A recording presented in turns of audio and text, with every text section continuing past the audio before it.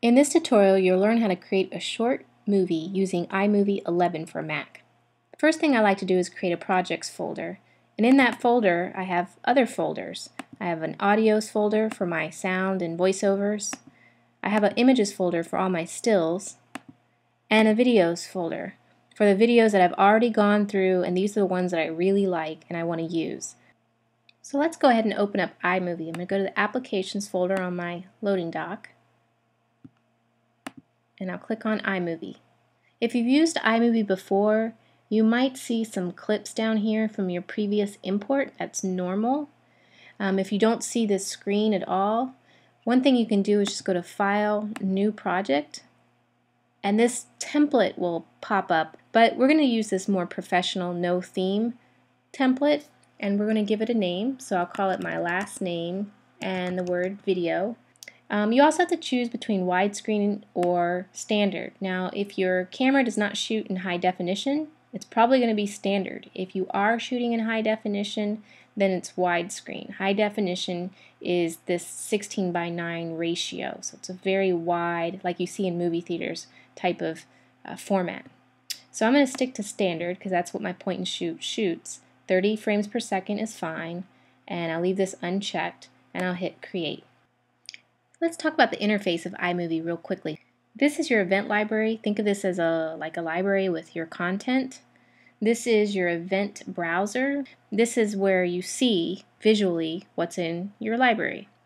This is your projects pane. This is basically your timeline. This is the heart of your project up here.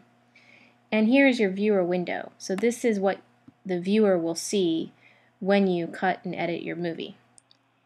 Let's go ahead and bring in some content in our iMovie project. I'm going to go to File, Import, and I'll go to Movies, and I'll go to my Projects folder where I already have a Videos folder, and I'll bring in these top .avi files. iMovie likes .avi, it also likes .mov.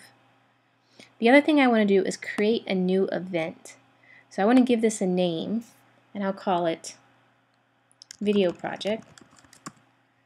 And I'll keep this at Optimize Video checked. And I want to make sure I copy the files. I don't move the files, but I copy them. That way there's always the original in that folder. And then I'll hit import. So this is going to create a new event down here in my event library. Now if I want to bring these clips up to my timeline to make a movie, the first thing I want to do is find my little playhead, which is this red line, and scrub across my video footage. This is called scrubbing. And so what you do is you find your beginning point and then you find your end point and then you drag that entire clip up to the timeline. So let me explain. I'm going to have Suzette in this video open up and introduce herself. So I want to start the clip before she starts talking. So she gives me a nod and I'm going to click and hold and drag until she stops talking. Now you really want to play this back so that you know you grab the right clip. So I'm just going to take my mouse and bring over the playhead to the very beginning. So I'm just, I'm not even holding the mouse, I'm just using my fingers and gliding the playhead over. And now I can play the video clip. Hi, my name is Suzette Cook and today I'm going to show you how to take a photograph not using a fancy SLR camera, but using a manual set point and shoot camera. Okay, that's exactly what I want. So now I can grab the middle of this clip and drag it to my timeline up at the top. Notice when you drag it up to your timeline, you get your video footage and your audio. So if it's really loud, uh, Cook, and today and you can look at this audio meter here. If you see this in the red, that means it's hot and you want to bring that audio down. So if I wanted to bring the audio down, I could just drag this line all the way down. Just make sure you do this for all your video clips so that some are not louder than others. Okay, so you really want to be consistent with your audio. That's important. By the way, if you see this over here to the side, these are all different buttons that you can add things like music, photographs that might be an iPhoto, how you do your fonting and your text slides, you do cross dissolves. These are all other features of iMovie. So I'm just going to close out of this so that I have more room in my event browser. So let's add one more clip just so I can show you how to do that. I'm going to use this B-roll clip of Suzette taking a photograph of this gentleman walking up the stairs. I'm going to make sure I start at a clean picture. So this is not clean. There's a big pole in the way. So I'm going to come over here where it's a clean image of her. Then I'm going to click and hold and drag, and I'm going to drag it to a part where she's not moving her camera. So right before, right about there. Now I can take this clip and drag it to my timeline up here in the top. You can play this clip at the top just like you would down here in the event browser. All you do is get your playhead where you want it to go and you Not hit your spacebar and it'll play right there in the viewer window and use the spacebar to stop. So let's talk about photographs. iMovie works seamlessly with iPhoto. And to find iPhoto, you can click on this little uh, camera icon here and get to your pictures on your computer. So this would work if iPhoto is your default photo browser. So say you bring in pictures from your camera and you bring them on your Mac and iPhoto is set up as your default photo browser, you can come in here and grab photos and drag and drop them into your timeline. But I don't have my system set up that way. If I want to bring photos into my timeline, I don't go to File, Import Movies like I do for videos. Instead, I simply drag and drop. So I find my video projects folder, so it's a great thing that I put all my content in one folder. And in here, I can just drag and drop my photographs right into my timeline. If you're dragging your pictures and you realize that you've put too many in, you can simply just click on the photograph and do delete entire clip and that will get rid of the image.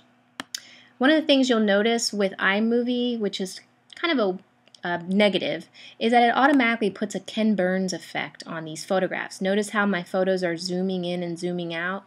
You really only want to do this when it's appropriate. When you do it too much, it looks amateur. You really want to do it when there's a mood or something that you're trying to convey when you zoom in and zoom out. That being said, I want to take this Ken Burns effect off of all my pictures because it's not the right topic to do something like that. So anytime you're on an image, notice how, or a video for that matter, this little button pops up. It looks like a gear. It does it on the videos too.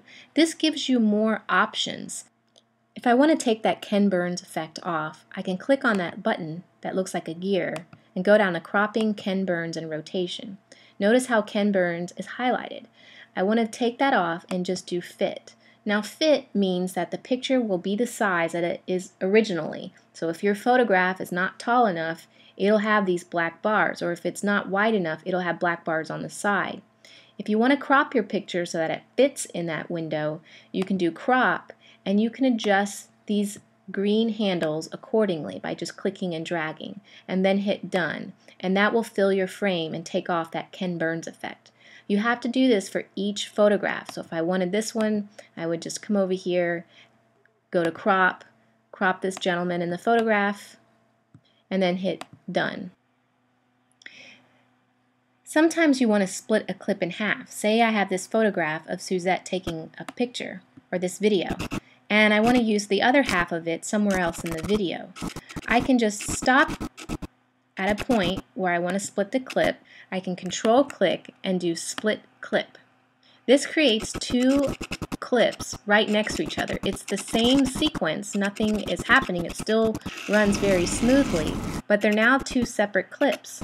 If I wanted to, I could take this second clip and move it somewhere else in the video so that these are separated. If I mess up and I want to bring the clips back together, I simply drag the clip back over and I select both clips and then I do a control click join clip and that'll bring the clips back together again if I mess up. So let's talk about sound. I could have this video play and notice how these photos are silent. That's not good, it's kind of eerie.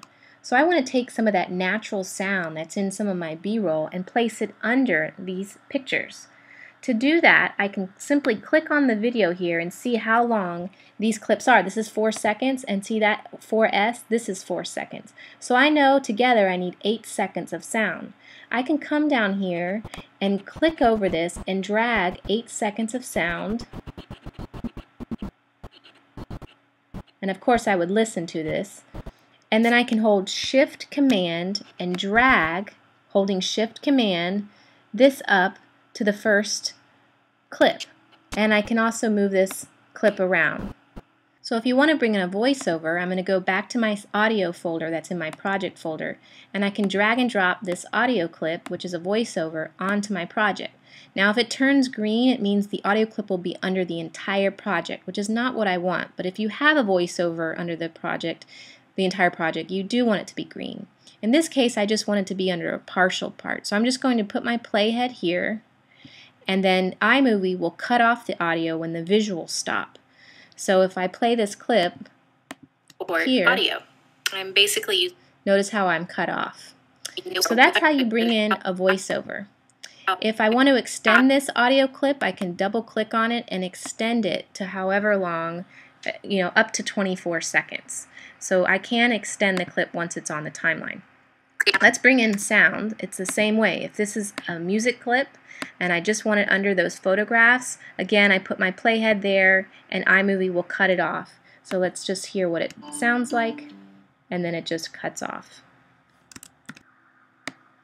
Now we want to do what's called fonting or lower thirds or supers.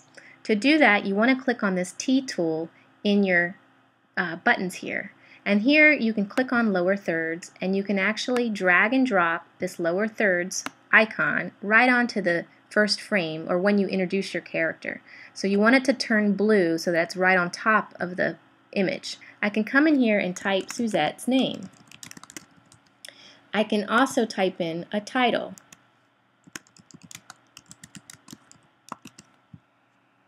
Usually these supers or lower thirds are about 6 to 8 seconds. So I'm going to make it a little bit longer by double clicking on it and changing this to 8 seconds. If I want to add a produced by slide at the very end, to do that I can just click on one and drag and drop this at the very end of my clip. Then I can choose a color, I'll choose black to be very conservative, and I can go in here and type in my name.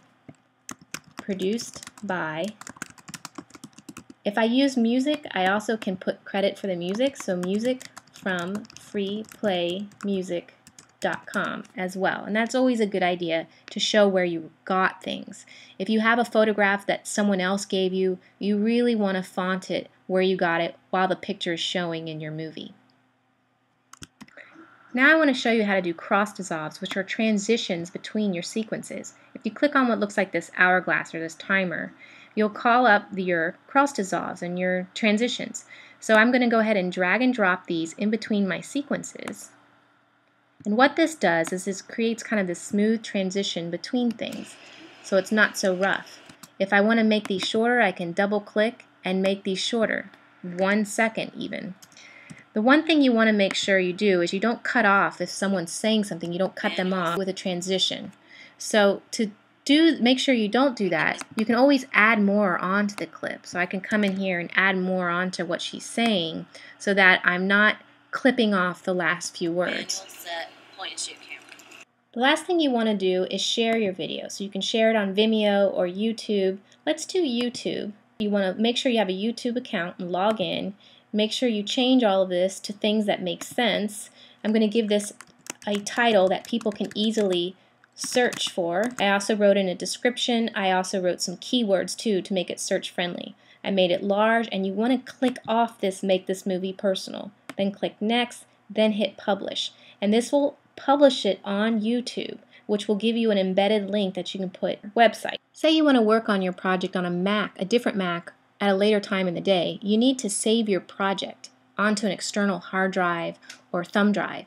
I'm going to click on this project library here and I can see here that this is on my current hard drive and I have a thumb drive here launched on my desktop that I'm going to drag and drop into that folder so I just click and hold and drag right into my thumb drive and I want to make sure I copy the project and events into that. So that makes a copy of my project on my thumb drive. In this tutorial, you learned how to use iMovie 11 to edit a basic video. There's still a lot more to learn. You just have to kind of play around and find things. But this gets you started.